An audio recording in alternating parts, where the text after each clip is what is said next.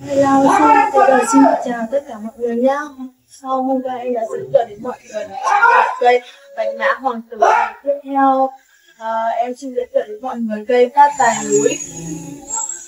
Uh, theo như em được biết thì cây phát tài núi nằm trong số những loại cây cảnh phong thủy là mang lại đến nhiều may mắn và tài lộc trong người trồng. Tuy nhiên không phải ai cũng hiểu rõ về loài cây này vì thế hôm nay mọi người hãy cùng sau cây lời của chúng em tìm hiểu về loại cây này nha. Ờ, cây tháp này núi còn có tên gọi khác đó chính là cây cây đại ngọc này cây thật sự rồng hay là cây huyết rồng hay là cây huyết rồng à, ờ, theo như em tìm hiểu ý, thì uh, uh, trong uh, ngôn ngữ khoa học thì cây phát tài núi còn có tên gọi là à, uh, Dracara Calora el uh, ờ, ở ngoài tự nhiên. Cây phát tài núi thì thường ra trung bình từ ờ, uh, mét cho đến uh, 5 mét.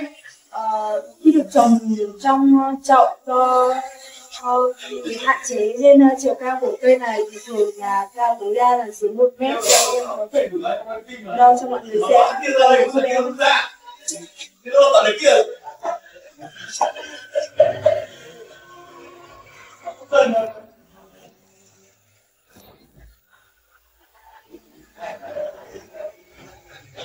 Đây của shop em thì uh, hiện đang có chiều cao là 1m6 1m6 và có 8 lá rộng.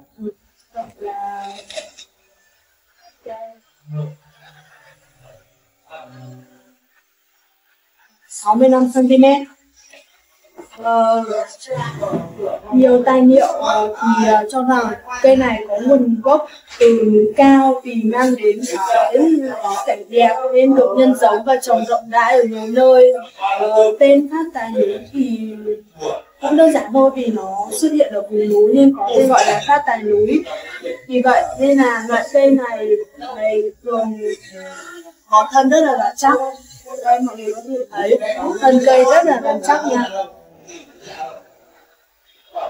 Nó là loài thân gỗ với uh, những cành uh, phân uh, phân ra từ uh, gốc và nhiều rễ phụ.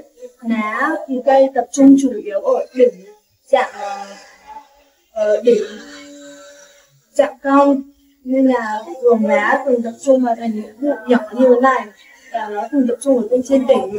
Thì tán lá thì nó cũng tạo thành một khóm từng khóm nhỏ. Và có hình uh, rào ở trong dài từ 15 đến 20 cm đây mà mình có thể thấy. Lá cây dài từ 15 đến 20 cm và rất là nhọn giống như những ngọn rào cuốn cong à, ờ, gốc thì có vẻ ôm thân lá có màu xanh lục đậm bóng và nở thành chùm cụm nhỏ ở đây. Ở đây thì nó nở thành rất nhiều cụm nhỏ nhìn rất là đẹp và sang. À, hình dáng tự nhiên hình dáng tự nhiên thì cùng với các cụm xanh rất là phù hợp với các tiểu cảnh ở sân vườn này ở trên uh, uh, các uh, ban công này hoặc là trên sân thượng. Còn đa phần loại cây này được trồng trong chậu xứ trồng cho rượu sứ để trang trí ở trong nhà trong văn phòng phòng quán cà phê nhà hàng vân vân. Bởi vì uh, như tìm hiểu ấy thì ngoài để trang trí ra thì loài cây này ấy, còn có công dụng đó tốt đó là nó giúp thanh lọc không khí này giảm thiểu khói bụi này mang lại một môi trường dễ chịu này giúp cho thanh lọc các loại khí CO2 và và đem đến một môi trường sống rất tốt và cho mọi người không gian làm việc thoải mái nên là mà cây này hiện nay đang rất là được ưa chuộng. Thế mà nó được nhiều người yêu thích mà không chỉ có ý nghĩa trong uh, không gian sống bình thường này. Đấy, như mọi người đã biết thì ờ, uh, loài cây này còn uh, có mang một ý nghĩa phong thủy. Đó chính là thể hiện cho sự may mắn này đem đến xung sẻ cho gia chủ đúng như cái tên của nó là phát tài phát tài cây sẽ mang đến nhiều tài lộc ờ, và những điều may mắn hạnh phúc cho ông người chồng nó này theo mệnh và tuổi. Thì uh, trong uh, khoa học về phương đông quan niệm ngũ hành ý, thì phát tài núi hợp với những người mệnh mộc những người uh, mệnh mộc này thì uh, trồng cái cây này sẽ đem đến nhiều tài vận này hạnh phúc này xuân sẻ và thành công trong tất cả các lĩnh vực gia đình. Ờ, đặc biệt thì ờ, uh, phát tài núi năm mệnh tuổi thì cây này còn hợp với tuổi thân canh thân. Đây đó là ý nghĩa rất là đặc biệt của cây phát tài núi này. Còn về cách chăm sóc của loài cây này thì mọi cây này là loài cây chịu độc hạn nên là mỗi tuần chỉ ờ, uh, lấy nước uh, hai đến ba lần. Và đặc biệt ý, thì uh, mọi người không nên để ở ngoài nắng vì lá lá sẽ rất dễ bị khô. Nên chỉ uh, để cây trong bóng râm này có ánh sáng và uh, thi thoảng cho cây ra tắm nắng một hai lần. Nếu mà mọi người thích thì hãy uh, nhanh tay liên hệ qua số em để nhận được nhiều ưu đãi và cây này hiện đang rất được nhiều người ưa thích nên mọi người hãy uh, qua shop em tại 39 trên Bình Mai Tự Cầu đến Hà Nội. Em sẽ để lại địa chỉ chi tiết để mọi người có thể liên hệ ngay qua shop em. Sau một cái ờ, cây phát tài núi em vừa giới thiệu xong đến mọi người thì ờ, tiếp theo đây em xin giới thiệu đến mọi người một cây treo nhỏ xinh mà cái công dụng của nó đặc biệt rất là thú vị à, cây này ờ, nghe trên cha em nó có tên là à, cây không khí. Cây không khí á nhìn mọi người nhìn có thấy nào nhìn rất là nhỏ xinh đúng không? Nhìn một trái dừa dưới vào. Đây giống như là tóc nên là nó được gọi là cây không khí tóc tiên. Cây không khí tóc tiên ấy thì uh, trong tiếng Anh nó có tên tên tiếng Anh nó chính là airplane. Nó có nguồn gốc từ khu vực châu Mỹ xuất hiện nhiều ở Nam Mỹ. Hình sinh của mọi người.